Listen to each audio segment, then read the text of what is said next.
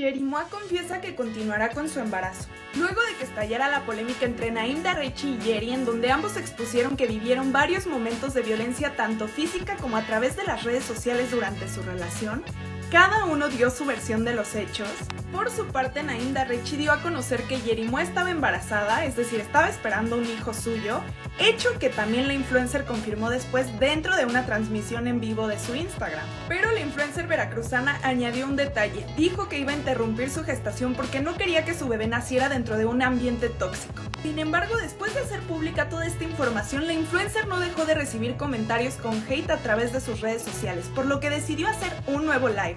Fue aquí donde ella confirmó que no había interrumpido su embarazo, que continuaría con él, pero también que seguiría en pie la denuncia hacia Naim y sobre todo que no le iba a dar el gusto de ser padre, que ella iba a criar al bebé y le daría sus apellidos. Para finalizar el video ella rompió en llanto por la presión social y pidió que la dejaran en paz. ¿Tú qué opinas?